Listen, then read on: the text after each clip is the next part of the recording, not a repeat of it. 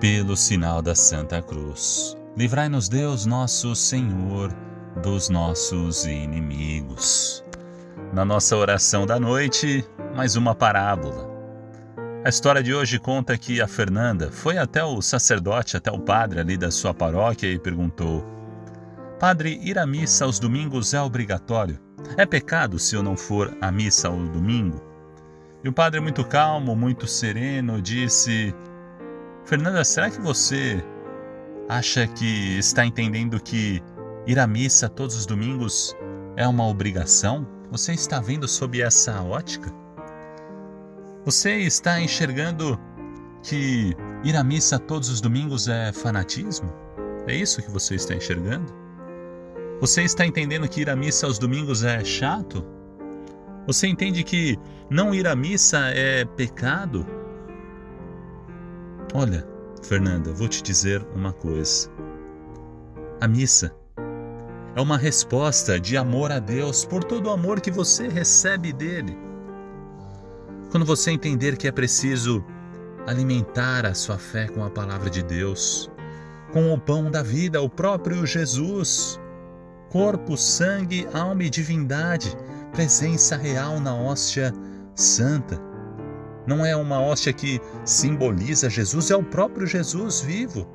E você vai se alimentar dele.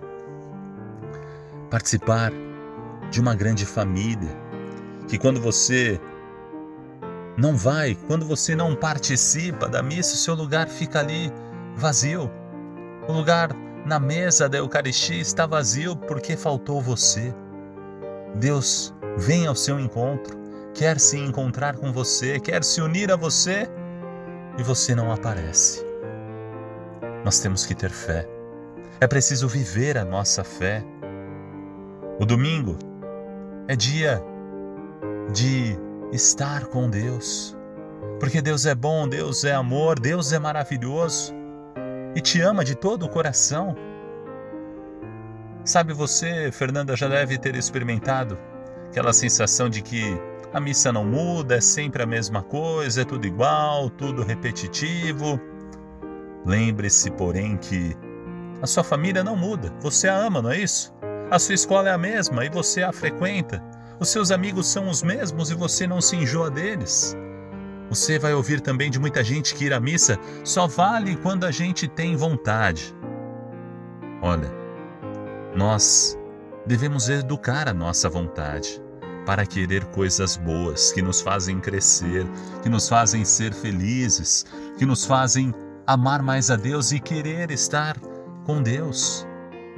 Por isso, que você possa compreender o significado da Santa Missa e não torná-la como uma obrigação, como um fardo pesado, mas entender que a missa é este verdadeiro encontro do Deus Criador com a sua criatura, com seu filho, com sua filha amada que quer se unir a você, que espera por você e que quer estar junto aí contigo nesta união íntima de amor na sagrada Eucaristia. Pai nosso, que estais nos céus, santificado seja o vosso nome. Venha a nós o vosso reino. Seja feita a vossa vontade, assim na terra como no céu. O pão nosso de cada dia nos dai hoje. Perdoai-nos as nossas ofensas, assim como nós perdoamos a quem nos tem ofendido. E não nos deixeis cair em tentação, mas livrai-nos do mal. Amém.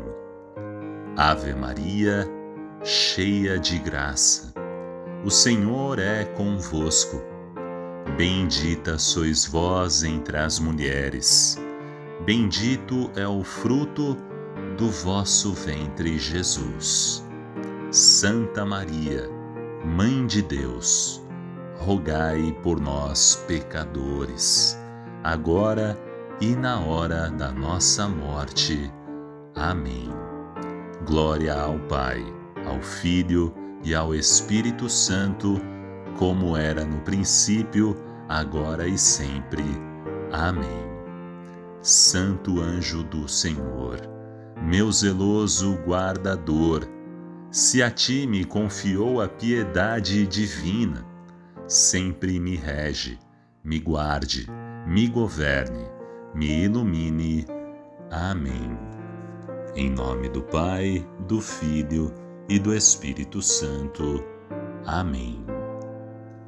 E você já conhece o livro Parábolas de Fé? Ainda não?